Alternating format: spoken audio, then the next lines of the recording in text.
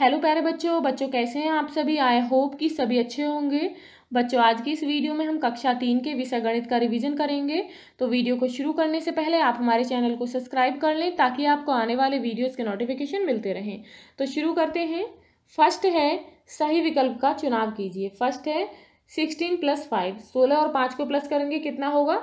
इक्कीस। तो बच्चे, यहाँ पर ऑप्शन है सत्रह, इक्कीस, नौ, एक सौ आठ। तो इसके सेकंड ऑप्शन पर सही का निशान लगाएँगे। नेक्स्ट है फोर्टी प्लस बच्चों, चालीस में कितना हम प्लस करें कि हमारा आंसर फोर्टी एट हो जाए तो बच्चों, इसमें हम प्लस करेंगे एट इसके सेकंड ऑप्शन पर सही का निशान लगाएँगे। नेक्स्ट है एक माचिस की डिब्बी के कितने कोने होते हैं? तो बच्चों, कितने कोने होते हैं? ज़ीरो एट सिक्स टू तो इसके कोने होते हैं बच्चों एट इसके सेकंड ऑप्शन पर सही का निशान लगाएँगे। नेक्स्ट है सौ, एक सौ पचास, दो सौ. तो इसमें कितने हर बार प्लस हुए हैं? पचास. तो बच्चों, दो सौ में हम पचास और प्लस करेंगे, कितना हो जाएगा? दो सौ पचास तो यहाँ पर ऑप्शन है दो सौ बीस, दो सौ पचास, पच्चीस, एक सौ पचास। तो इसके सेकंड ऑप्शन पर सही का निशान लगाएँगे। नेक्स्ट है एक सौ पच्चीस से आठ ज़्यादा है। एक सौ पच्चीस में हम आठ और प्लस कर देंगे तो कितना हो जाएगा? ऑप्शन है बच्चों यहाँ पर एक सौ तैंतीस, एक सौ सत्ताईस, एक सौ छब्बीस और एक सौ बत्तीस। तो बच्चों हम एक सौ पच्चीस में आठ प्लस कर देंगे। तो कितना होना चाहिए? आठ और पाँच कितने होते हैं? तेरह, का तीन कैरी वन दो और एक, ये कितना हुआ? तीन। और ये कितना हुआ? एक। तो कितना आंसर हुआ? एक सौ तैंतीस। तो बच्चों इसके फ़र्स्ट ऑप्शन पर सही का निशान लगाएँगे। नेक्स्ट है, सही या गलत बताइए। नौ सौ एक के एकदम बाद नौ सौ दो आता है तो बच्चों हाँ ये सही है। तीन अंकों की सबसे छोटी संख्या नौ सौ निन्यानवे है तो बच्चों, गलत है। तीन अंकों की सबसे छोटी संख्या कितनी होती है? सौ। तीस में से आठ घटाने पर उत्तर तेईस आता है तो बच्चों, ये गलत है। तीस में से आठ घटाने पर उत्तर बाईस आता है। छब्बीस में तेईस जोड़ने पर उत्तर उनसठ आता है तो बच्चों ये भी गलत है। यदि हम छब्बीस में तेईस जोड़ेंगे तो कितना होगा? छः और तीन नौ, दो और दो चार। तो बच्चों आंसर आना चाहिए उनचास।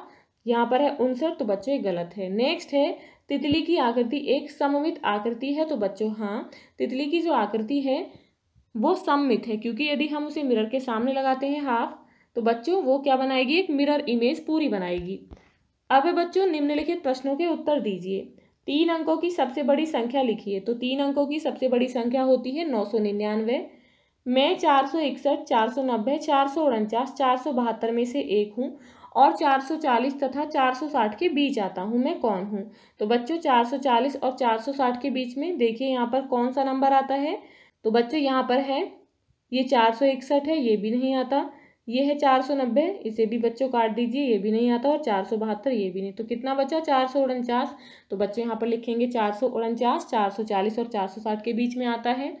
बानवे में क्या जोड़ें कि उत्तर सौ हो जाए? तो बच्चों, बानवे में हम कितना जोड़ेंगे? आठ। तो हमारा आंसर सौ हो जाएगा। नेक्स्ट है अंक तीन पाँच ज़ीरो नौ एक का प्रयोग करते हुए दो अंकों की छोटी से छोटी संख्या लिखिए। तो बच्चों, इन अंकों में से हम दो अंकों का प्रयोग करके छोटी से छोटी संख्या बनेगी दस।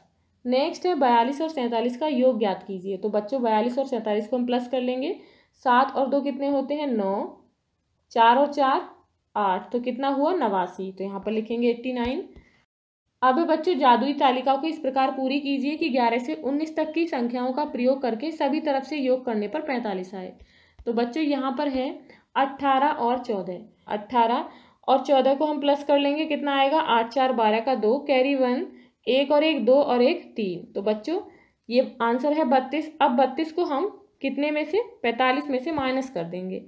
पाँच में से दो माइनस किया, कितना बचा? तीन। चार में से तीन माइनस किया, एक। इट मीन्स यहाँ पर क्या फिल करेंगे? तेरह। अब बच्चों, ऐसे ही हम क्या करेंगे? ये है चौदह। यहाँ पर है बारह। अब चौदह और बारह को प्लस कर लेंगे, कितना हुआ? चार और दो, छः। एक और एक, दो। अब बच्चों, हमें आंसर चाहिए इस रॉ का भी पैंतालीस तो हम पैंतालीस में से इसे माइनस करेंगे।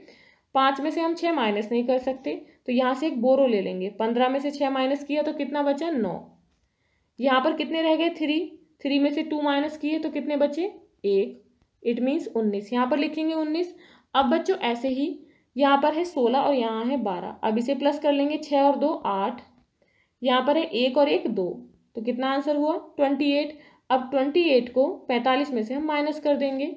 यहाँ पर फिर से बच्चों फाइव छोटा है, एट को माइनस नहीं कर सकते, यहाँ से एक बोरो ले लेंगे। पंद्रह में से हम आठ माइनस करेंगे, कितने बचे? सात। यहाँ पर कितने रह गए? तीन। तीन में से दो माइनस किया तो कितने बचे? एक। कितना बचा? सत्रह। यहाँ पर फिल करेंगे अब सत्रह। अब बच्चों, ऐसे ही यहाँ पर है अट्ठारह और यहाँ है सोलह। इन्हें प्लस कर लेंगे आठ और छः। कितने होते हैं? चौदह। एक और एक दो और एक हासिल का तीन। तो कितने हो गए? थर्टी फोर, यानी कि चौंतीस। अब बच्चों, चौंतीस को पैंतालीस में से हम माइनस करेंगे तो कितना बचेगा? पाँच में से चार माइनस किया, एक। चार में से तीन माइनस किया, एक। तो आंसर कितना है? इलेवन तो यहाँ पर लिखेंगे इलेवन तो बच्चों, अब जो है, इसका योग कितना हुआ पैंतालीस? ऐसे ही बच्चों, इसका योग कितना हुआ? ये भी पैंतालीस हुआ। इसका भी योग कितना हो गया पैंतालीस? और बच्चों, इसका भी योग कितना हो गया पैंतालीस। अब बच्चों, आप इसे इस तरीके से प्लस कर सकते हैं। यदि हम इन्हें प्लस करेंगे तो कितना बैठेगा? पैंतालीस। अब है वर्णात्मक प्रश्न। अंक ज़ीरो, एक, दो, तीन का एक बार प्रयोग करते हुए दो अंकों की सभी संभव संख्याएँ लिखिए। तो बच्चों, इन अंकों से बनने वाली सभी संख्याएँ हैं दस, बारह, तेरह, बीस, इक्कीस, तेईस, तीस, इकतीस, बत्तीस। अब बच्चों क्वेश्चन अंक तीन, एक, ज़ीरो का एक बार प्रयोग करते हुए तीन अंकों की सभी संभव संख्याएँ लिखिए। तो बच्चों, तीन अंकों की सभी संभव संख्याएँ हैं, एक सौ तीन, एक सौ तीस, तीन सौ एक और तीन सौ दस। बच्चों, यदि आपको ये वीडियो अच्छी लगी हो तो लाइक, शेयर करना ना भूलें और यदि आप इस चैनल पर नए हैं तो प्लीज़ चैनल को सब्सक्राइब करें। Thank you.